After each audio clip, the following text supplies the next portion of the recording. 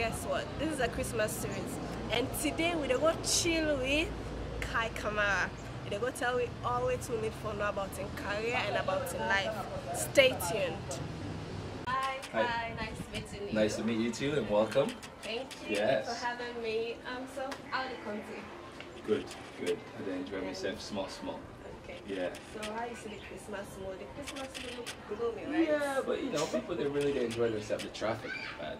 I know. Yeah. That's true. Yes. That's it. And it's hotter this year. You know, place warm past last year. Yes.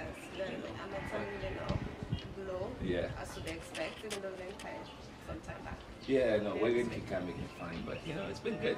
And thanks for, you know, offering me to do it. Get the grant together into the course.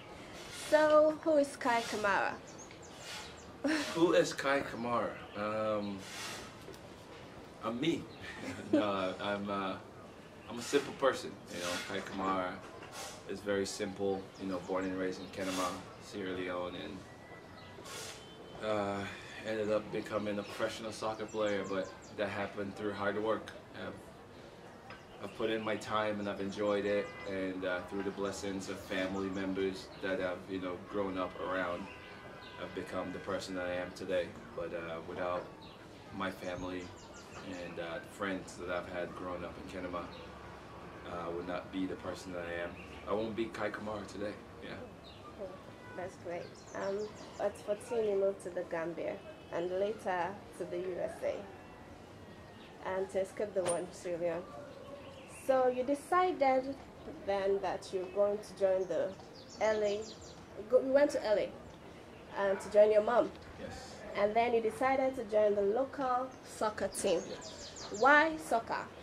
Why soccer? Um, but yeah, at 14, um, everybody you know uh, Sierra Leone had a really brutal civil war, so we left um, at 14 when uh, things cooled down a little bit. I went to the Gambia and um, stayed there for two years, and then finally moved to the to the U.S. to join my mom, who has been living in, in the U.S. Uh, for about I don't know maybe 15 years then. And uh, it was great. It was great to finally move to America. And I was living in California, in Los Angeles, and uh, I wanted to play soccer.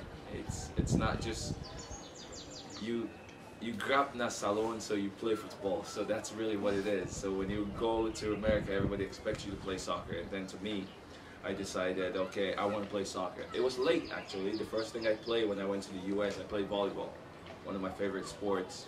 That's what I play. Um, and then later on, I jumped into soccer, and it became my saving grace. Okay. Um, after that, in 2006, uh, when you went to college, you were selected as a forward for Columbus Crew. How did you feel? Yeah, it, it's, it's all about setting goals. You know, when, when I was in America and uh, a few years later, after playing in college, playing in high school first, and then usually kids play for four years in high school, go to college, play four more years in college, and then gets drafted and play professional soccer. But with me in my position, I, uh, I set my goals and I said, I want to achieve these goals. I want to, you know, I'm, I'm in America. Five years later, I'm playing professional and going two years of school, two years of high school, and two years of college. It was just a goal of mine that I wanted to do, and said I want to use that to have the opportunity to play in college. And uh, my mom didn't afford, couldn't afford the money to pay for my college, so I have to play soccer to save me to play. And uh, all that worked out. And all of a sudden, I said by the age of 21, I want to become a professional soccer player and I achieved that one too.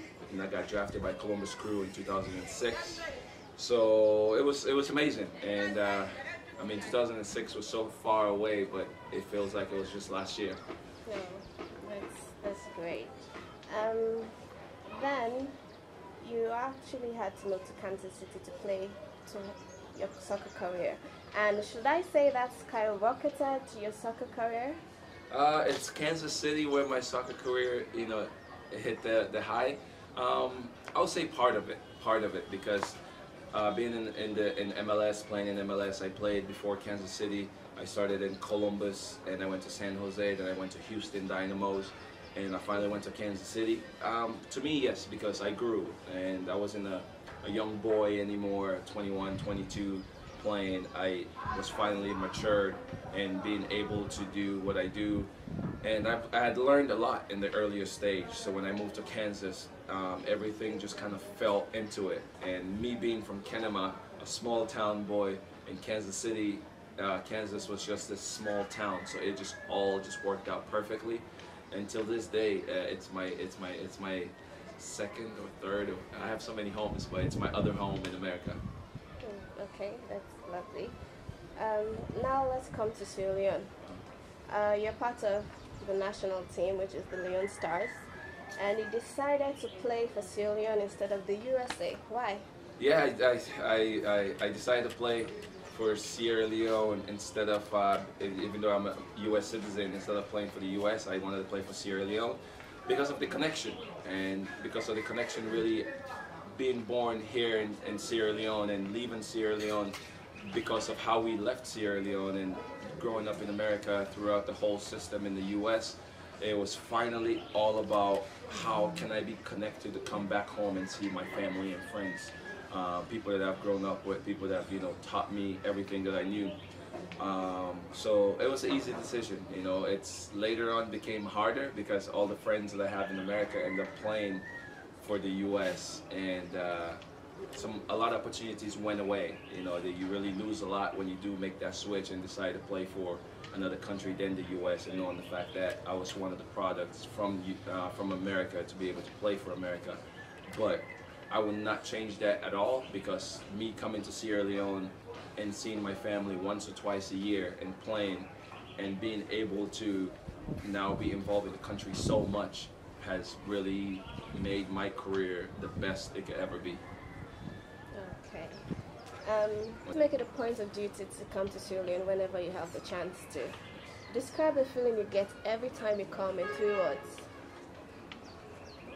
To describe every time I come to Sierra Leone in two words, In three words. three words, Yes, just three words. wow. um, um,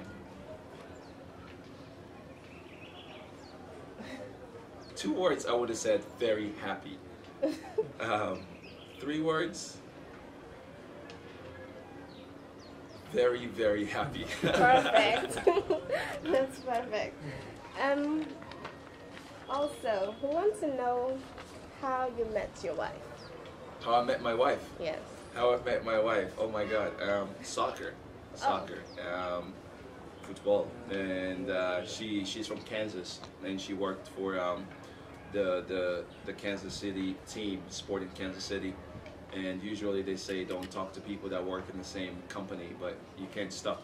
You know when something happens. Um, I met her through soccer. I met her through friends, and uh, that was a little over eight years ago. So yeah. Okay. Um, can we know how many kids you have? I have two kids. I have two kids. Um, my my daughter's three years old, and my son is one. And uh, yeah, they they're they're my everything, and I love them. Yeah. Okay. Would you like any of your kids to play football? Would I like any of my kids to play? Um, I, I'm not sure. You know, I mean, if they do, if they want to, I will support them. But I am a person where I'm really open, and soccer is not the only thing I play. I play, like I said, volleyball, basketball, I ran track, and uh, I'm very open. You know, I love to dance, I love to this. So anything that they want to do, I want to encourage them to do it. I don't want to have them have the focus to say, I want you to play football, I want you to play soccer. That's the only thing I want you to do. Obviously, if they become an athlete and want to do that, then great. But I'm not gonna put them in a in a corner, coach them every day, say I want you to be the best soccer player out there. No. Okay. And so, how about the football in Sierra Leone? What's your expectation for it in the next two to five years?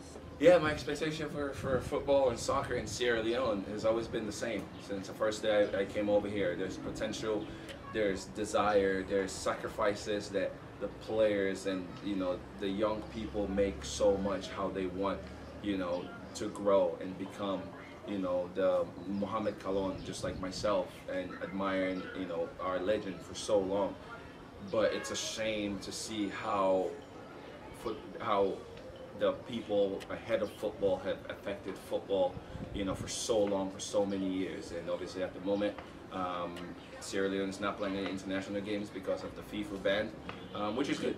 Me personally, this will probably be the first place I say it.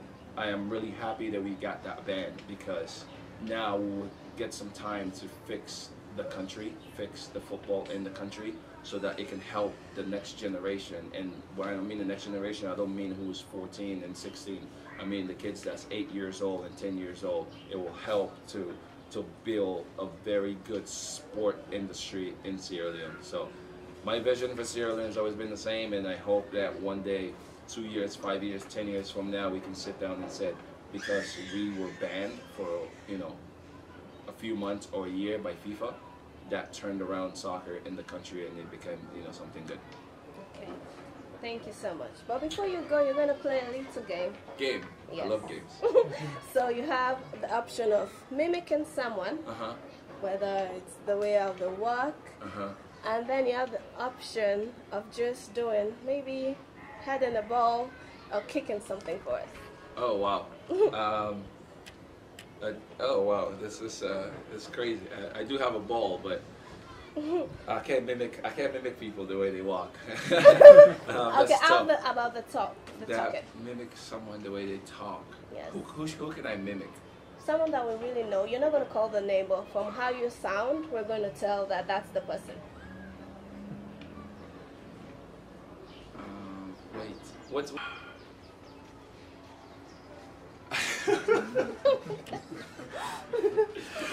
Oh, you better get this on video, on my video too.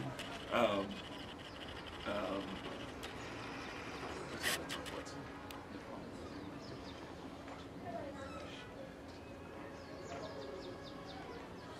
okay, I can do this. Um, here we go. Oh boy. And you guys have to guess it. Alright, ready? I, I am the only Mandema with dignity and quality. No more, no less. See me so? Uh, uh, uh, um, um, Jackie, anytime I come to this country, eh, everybody just watch me like for say, I am, I have, I have pure Mende blood. Pure, pure. I'm done. Okay. Okay, that was good. That was good. so thank you That's so funny, much. man. Do Oh, you have man. any last message you want to send to Sierra Leoneans? Um, yeah, last, uh, I got too many messages. If I want to send a message to Sierra Leone, it's too many. Um, but uh, thing I always say, I say to my fellow Sierra Leoneans, uh, everyone, brother, sister, young, whoever it is, whatever you're doing for Sierra Leone, if you're doing it and you're representing Sierra Leone, you have to do it again for Sierra Leone. It's not about you. It's not about, you know, your family. No, you're doing stuff, it must be for Sierra Leone. And when I look at it, I always say, recite the national pledge. You know, when you're pledging, you're pledging your love and loyalty to the country, Sierra Leone. You're not pledging it to you, your family, you know, your friends, and this and that. So when we do that, we will help the country grow and hopefully when we do help the country grow it becomes a better place instead of us putting blames on whoever is trying to help the country grow and you know uh, criticizing somebody else that's trying to do something to help Sierra Leone so together when you're doing something when you're put in a position to help Sierra Leone let's do it for Sierra Leone let's not do it you know for our personal uh, benefits and stuff like that so that's my uh, that's my thing for Sierra Leone. Thank you very much. Yeah. And just